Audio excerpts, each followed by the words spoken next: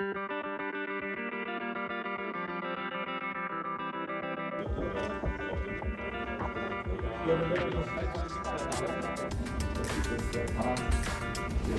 Fertigungsfläche liegt bei 1650 und die Bürofläche bei 1250, also nahezu eine Verdopplung der Flächen.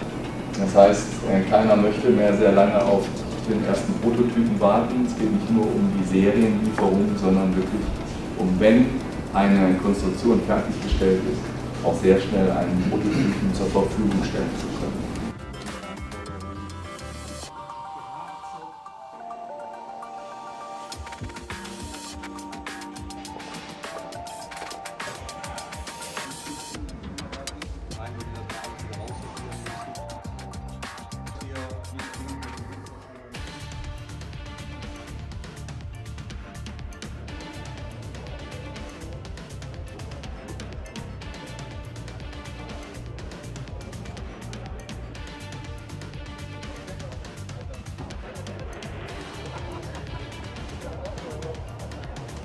Ja, herzlich willkommen zur offiziellen Einweihungsfeier zu unserem neuen Gebäude hier in Düsseldorf. In